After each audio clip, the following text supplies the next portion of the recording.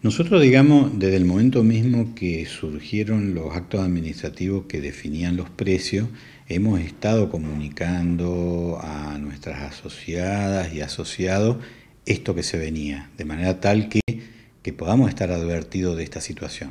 Esta situación con una factura que vence hoy o en estos días, para muchos podrá ser nueva, pero para muchos otros ya lo sabían porque lo hemos estado anticipando. De todas maneras, anticiparlo no quiere decir resolverlo, quiere decir anticiparlo.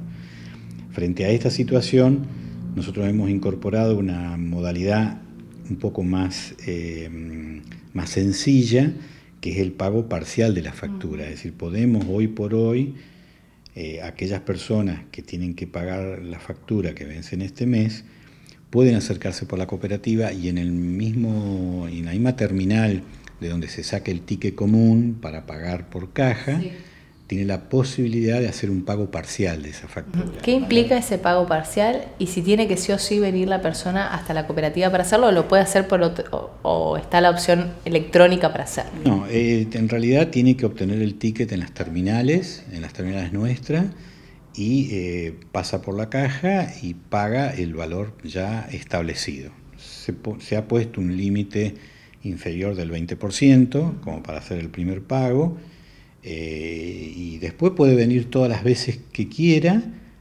a, seguir haciendo aportes a esa factura hasta completarla. ¿En qué lapso? De aquí en más.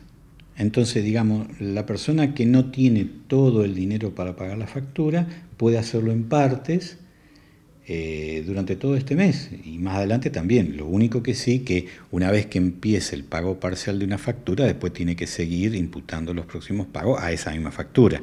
No puede tomar otra factura, hacer un pago parcial, porque si no sería ya eh, complicar administrativamente.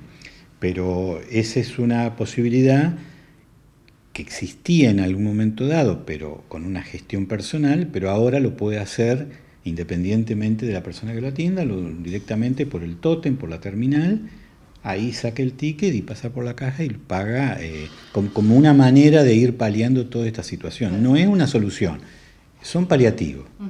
¿Se está pensando en alguna otra herramienta para, para poder... Eh, Estamos viendo en la medida, digamos, que se completen las fechas de vencimiento de este mes, poder evaluar si, eh, si, instrumentamos algún plan como para completar el pago de esta factura que vaya a quedar. Muy bien, ¿es solo para lo del servicio eléctrico? ¿Para los demás servicios no?